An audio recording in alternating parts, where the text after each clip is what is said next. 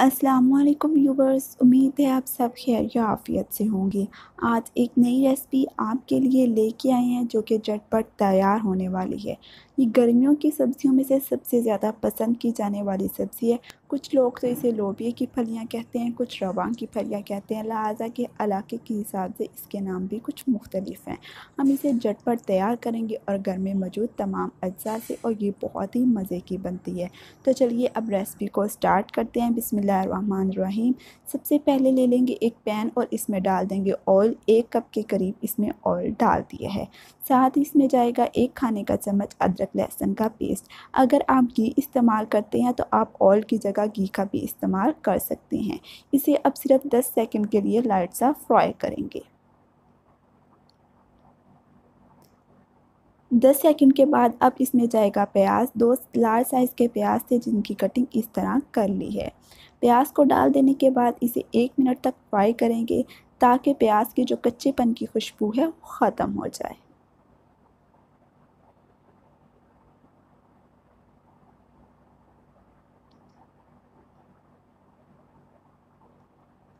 एक मिनट हो चुके हैं प्याज को फ्राई करते हुए। तो अब इसमें जाएगा टमाटर।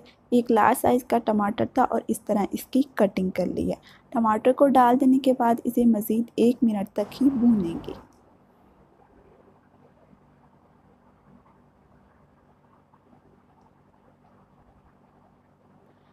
टमाटर की बुनाई करने के बाद अब इसमें डालेंगे गरम मसाला जात। जिनमें एक दालचीनी का पीस, एक बड़ी इलायची और तीन लौंग शामिल हैं। सिर्फ़ यही गरम मसाला जात ही इसमें डालेंगे। गरम मसाला जात को डाल देने के बाद अब इसमें डाल देंगे पानी। पानी यहाँ पर जो मैंने इस्तेमाल किया वो तीन से चार खाने के चम्मच हैं। आप भी तीन से चार खाने के चम्मच ही पानी का इस्तेमाल करें ताकि प्याज और टमाटर अच्छे से गल जाएँ और इसे कवर करके पड़ा रहने दें दो से तीन मिनट के लिए। दो से तीन मिनट हो चुके हैं और ये देखिए टमाटर और प्याज भी अच्छे से गल चुके हैं। तो अब इसमें डालेंगे लोभी की फलियाँ। ये दो कप के करीब लोभी की फलियाँ हैं। साथ ही इसमें जाएँगे आलू। ये तीन लार्ज साइज़ के आलू थे और इस तरह इसकी कटिंग कर ली थी। आपको जितने आलू पसंद हो उस हिसाब से डाल दें। आधा खाने का चम्मच कूटी हुई लाल मिर्च पाउडर फॉर्म में। एक खाने का चम्मच नमक। नमक आप अपने टेस्ट के हिसाब से कम या ज़्यादा भी कर सकते हैं।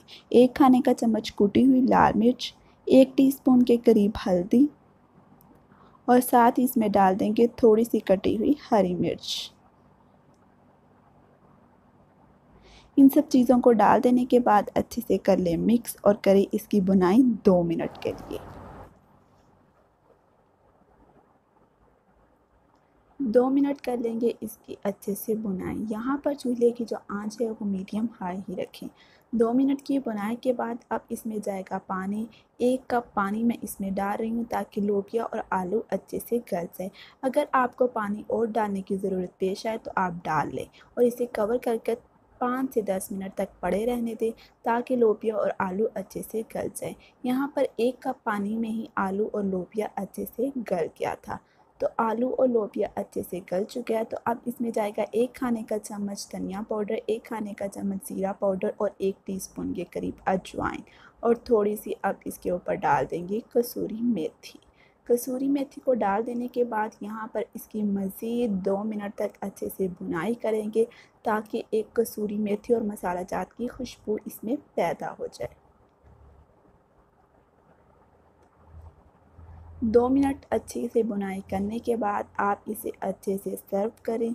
बहुत ही आसान रेसिपी है, घर में मौजूद तमाम अज्जा से ही तैयार हो जाएगी और बहुत ही मज़े की बनेगी। तो अब दो मिनट हो चुके हैं, चूल्हे की आँच कर देंगे बंद और इसे सर्व करना स्टार्ट करेंगे। आप इस रेसिपी को ज़रूर ट्राई कीजिएगा और मुझे ज़रूर फीडबैक दीजिएगा। तो चलिए मिलते हैं अपनी नेक्स्ट वीडियो में। फिर वक्त के लिए फ़ी ईमान